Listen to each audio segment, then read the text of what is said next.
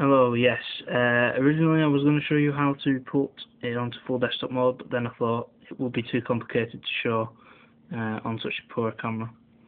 Uh, so, what I was just doing is, like I said, go to web um, and go into the um, URL void, uh, wherever it is, and put www.eeeuser.com and then if you press in the search uh, search uh, window uh, search for desktop mode and then the very first one will say advanced desktop mode. Uh, if you go onto that one and follow the follow the instructions uh, precisely and you should be able to get it. Um, it's quite simple to use quite simple to do it's not it's not hard unless you can't read. I'm sure people do. Uh, when you first switch, uh, when you uh, go to your little, which is a red circle, which is actually the shut shut down shut down button, and it brings up a sub menu saying shut down, restart, standby, task manager. Uh, obviously on yours it'll just show these four until you unlock the actual full desktop, which will then obviously show with full desktop. Um, once you click, every time, well, the only downside is this is the only way of doing it. It's the only way of actually putting it onto the desktop mode.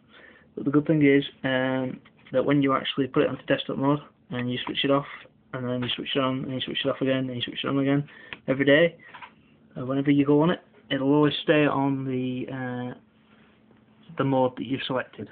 So um, I prefer, actually prefer the full desktop mode as like I said it feels more of a PC with it. And it will show up these little windows loading up.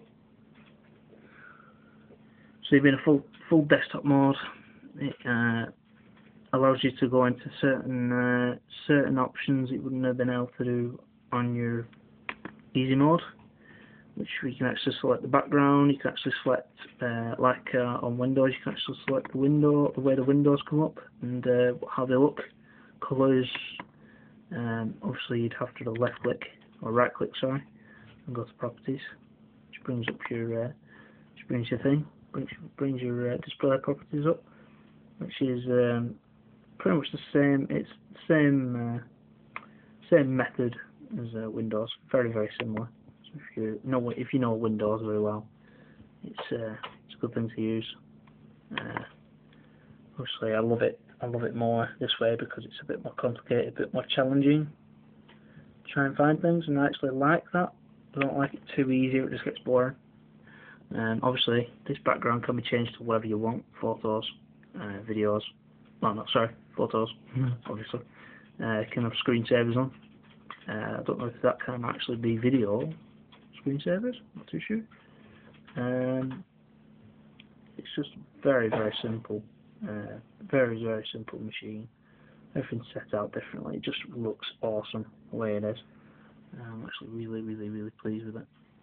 Uh, but yeah, like I said, if you go on that to eeeuser.com and then look up desktop mode in the search window and then find the very top one which will say advanced desktop by wiki which is probably Wikipedia uh, just follow them prompts and you can actually do it. Uh, uh, that's the only way, as far as I know, unless you can actually go onto asus.com uh, and then look up the details on there.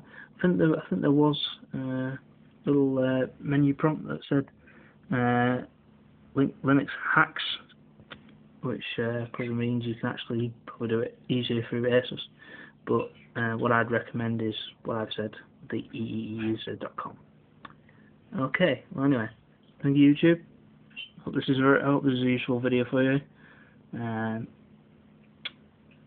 um, obviously, if I ever want to upgrade the memory, I'll probably do a video, put it on, show you how to do the memory. Uh, although probably that, by that time you've actually done it yourself. Uh, again, if you want to increase the memory, uh, sorry, increase the uh, solid state drive, which is on this model 4 gig. Uh, I'd suggest putting a SD card in.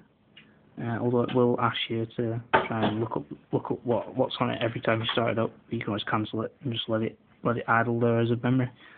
Uh, this one is a gig SD. A uh, card that I put in. She's it brought it up to five gig. Obviously, I think I think uh, three and a half gig of this. Uh, well, maybe two and a half gig. This actual solid state drive is mostly the actual uh, operating system, which isn't good. But it. Uh, okay, thank you very much.